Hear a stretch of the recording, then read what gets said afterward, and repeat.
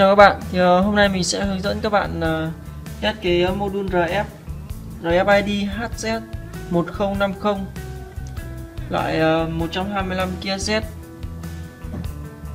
thì đây thì à, cái module này gồm có một bo mạch chính này một cái à, anten. Anten thì các bạn sẽ cắm vào đây. Và một thẻ RF kèm theo loại um, móc khóa.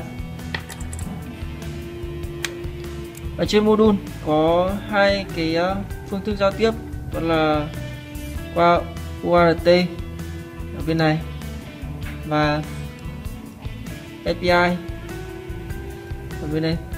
Các bạn có thể sử dụng một trong hai uh, cách để uh, giao tiếp và đọc tín hiệu uh, từ thẻ từ thẻ về và ở đây là có một cái răm này để các bạn chọn giữa um, giữa cái uh, tốc độ 9.600 hoặc là 19.200 đây ở đây mình sẽ chọn là um, 9.600 này. Các bạn sẽ cắm hai cái răm này vào.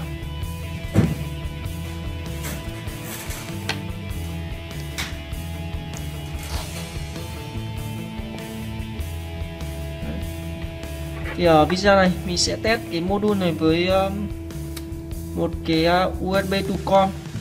Ở đây là USB to com CH340 các bạn có thể sử dụng cái khác, loại module khác hoặc là sử dụng ờ, vi điều khiển để đọc cái giá trị gửi về. Đây. và đọc qua cổng TX ở đây. Về cách đấu này bạn sẽ đấu 5V vào 5V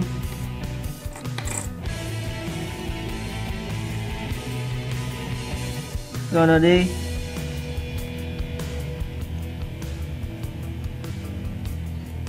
Và TX của module.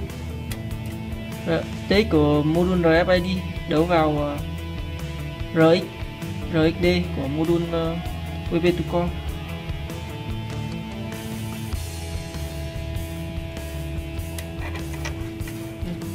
à, kết nối máy tính.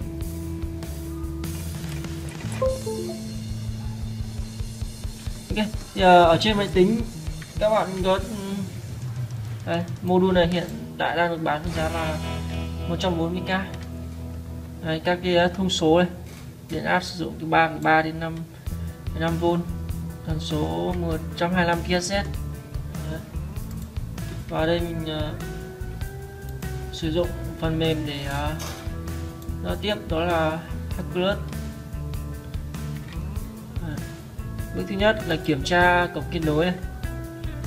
Thì đây là nó nhận là USB serial CH340 cổng com 6 Đấy.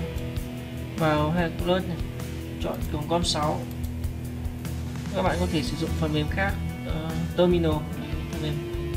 Nó tiêu qua tới khác. Chọn tốc độ bao 96 cái này giữ nguyên.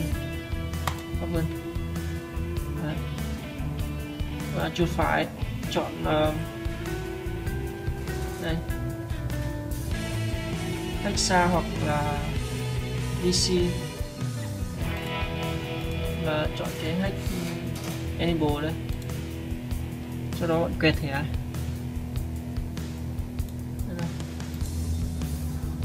Đó